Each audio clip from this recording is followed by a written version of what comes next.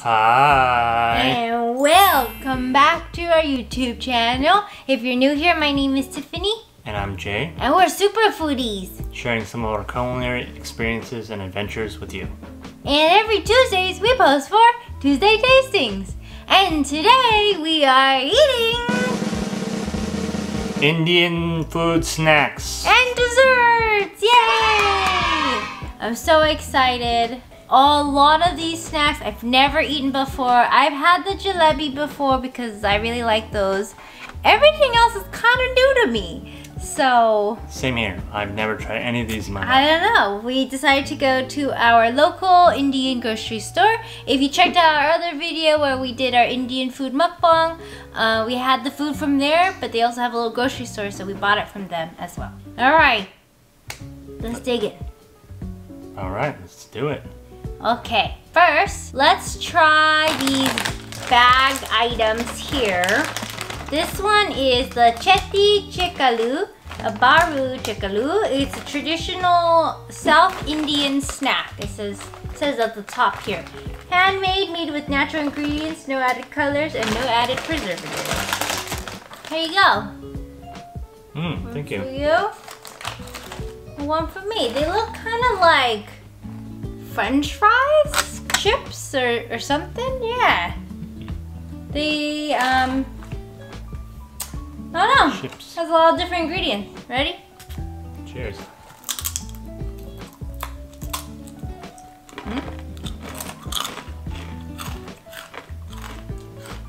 Mmm. Oh. Interesting. It has some spice to it. Wow. That kind of spicy. Yeah, it's pretty spicy. Surprising. Wow. It like hits you. Whoa, Oh my god. that's spicy. I wasn't expecting that. So, These are like flaming hot Cheetos.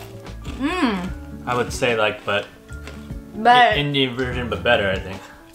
It's not salty. It's not salty at all or anything. So it says here that chikulu are a traditional fried snack from the Andhra Pradesh, and they are very crunchy, delicious, and addictive. These are definitely addictive, Yeah.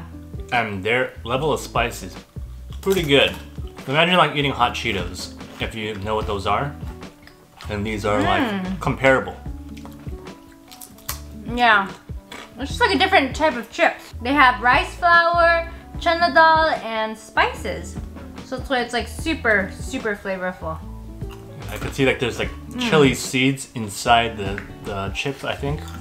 It's like filled with little seeds, so Mm. Not bad. yeah, pretty good. Yeah, okay. I'd rate it a 7 out of 10. It's not something I'd crave for. But if it was there, I get it. I would crave for that. That, that gets addictive after a while. Yeah, I guess so. All right, next up on our bag snackies is the bujia. Savory spice, peppery beans, flour noodles.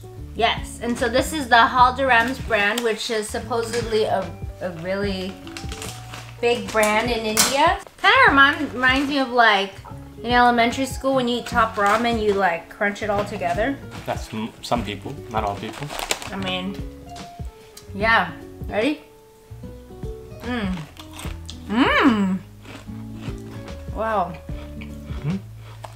That wasn't like super delicious at the beginning, but then when you eat it all together, it has like this um like a nutty flavor, doesn't it? It reminds me of the top ramen stuff. Chickpea flour. But it's a more savory flavor. Yeah. This is um not bad. That's a pretty good snack. I would I would definitely get that. Per Google, it is a popular crispy snack prepared by using moth beans, besan, and spices, originating from uh, Bikaner. Sorry if I'm pronouncing it wrong. A city in the western state of Rajasthan in India. Moth beans? What's that? What is that? If don't know. you know, let us know in the description below. Do you just eat it like how we're eating it? Just like put it in your mouth and stuff? Is that how, it? How else would you eat it? Like the pictures here show little chunks in it. I'm trying to look for it, but I don't see anything. So I think it's supposed to be like this. I think this one's more addicting than that one. I would go back to that one. It's like But- imagine like yeah, eating hot chips. Sometimes you know that Yeah, I guess so. I'd rate this Buhia Bujia 6 out of 10. so six out of ten, but then the other one's seven out of ten. Yeah, okay, fine. I like this one better. This, I like this one a little bit better. Next up, we got the House Hot Mix Fresh Snack. And it has a mixture of gram flour and peanuts and So it's like bar food. yeah, that's a good way of putting it. You go to a bar and you get all that. So you can see it has like a bunch of dried stuff, peas, flour thing. It looks like the bujia, bujia thing in it too. And some of It's this. kind of hard to see. It's like Mmm.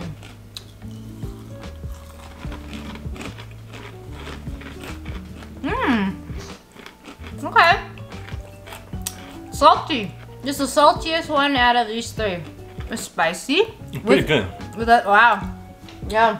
If I had a beer, I'd eat it with that. I drink that with it. This could go perfectly with bar food. Yeah. Oh look, they have these little things. Mmm, chunky. Okay.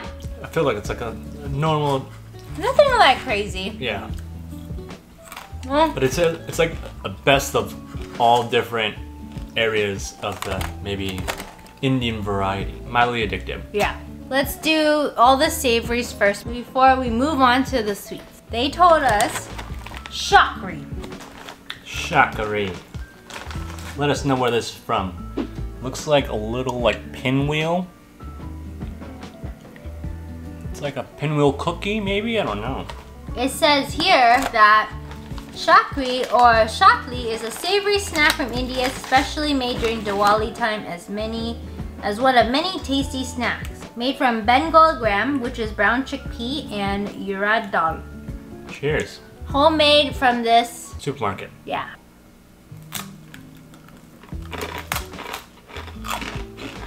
Oh wow, that's pretty good. Mm. Oh, that's good. Is this fried or is it baked? Oh, I bet you it's fried. Mmm. definitely a crispy cookie.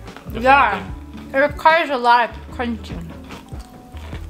That's good. Very spice flavorful. Mm-hmm. Not spicy though. I feel like I could dip this in something. Yeah, a little dry for my taste. Or like, what do you do? It's just um like a snack. You just eat it like this, right? Oh. My mouth is kind of tired. Yeah. but it's good. I like it. Mmm. I give this 8 out of 10. A little bit better than the other ones. I don't know if it's because it's fresh and the other ones are packaged. So I feel like I can't really compare, but not bad. Alright, next up we're gonna try is the gujia. This is a dumpling. It is actually a sweet deep fried dumpling native to the Indian subcontinent, made with suji or maida stuffed with a mixture of sweetened koa, dried fruits, and fried in ghee. Here we go. Wow, this looks extra unhealthy. It's like a it's like a dumpling. It's it looks like a little empanada. Yeah. How cute. Okay, and there's like nuts, almond slivers, pistachios on the outside. Oh wow. Whoa. This is good. Whoa. Mmm. Oh wow. Wow. I've never had anything like this before. Sweet, buttery, I feel like it tastes like saffron, right? saffrony. Mm-hmm. This coconut. It's- Coconut. It has like some spice in, inside, but I don't, I don't think it's listed here. If you guys know, let us down. Like, what's in here? What's inside? I don't know what's inside. Kind of tastes like coconut bits. Like shredded coconut. Yeah, but there's something else. There's a spice in here that I don't know what it is, but it reminisces me of the saffron ice cream. This is a very heavy dumpling. Definitely recommend this. Gujia. I don't know if I'm, I'm butchering it, I'm sure, but Mmm, whatever this is, let us know where this comes from. so good. Next up, we will eat motichur ladu. Look at this. It's like a little orange ball. Yeah, what is it? I don't know. It says it is a sphere-shaped sweet originating from the Indian subcontinent and it made from flour, fat, and sugar. Well, we're gonna get diabetes today. No. Oh. Mmm. I like it. It's really, it's like soft, pillowy, It's like, sweet. it just reminds me of like a rice ball with sugar and some spices. It's just gram flour, ghee, sugar, and nuts. Tastes delicious. Hmm. Not bad. I don't know if I could pick one. The laddu or the gujia. They're both pretty good. This one's on the heavier side, the gujia. Thank you for bringing this to the world. You guys are blessings. They're both delicious. I would recommend both of them. Mm. The next one we have is Malai Gulab Jamun. These look like cream filled goodness. I don't know what this is, but they said this is the most popular flavor, the malai. And they have the rose, they have different flavors, but they said this is the most popular. Let's try it. I'm excited. It's like Indian patissier.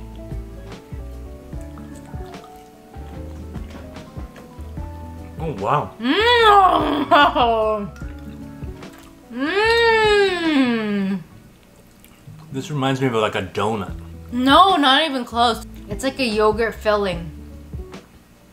Mmm. Donut tastes like a donut to me. Mmm. Very sweet. Mm. That's a very interesting flavor. Wow, I like it. 10 out of 10 recommend this. Mm. If you've never eaten this before. This is really good. Mmm. I yeah. So far, I like this one the best. I could eat like a dozen of those.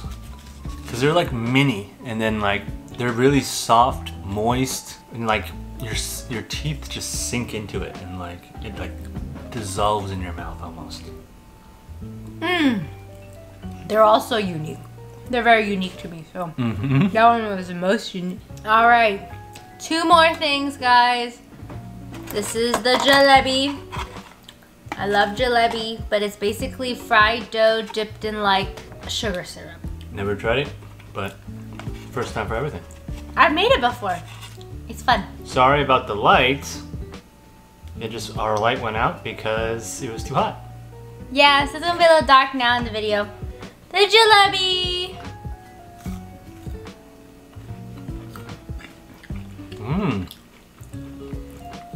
Mmm. I will always love jalebi.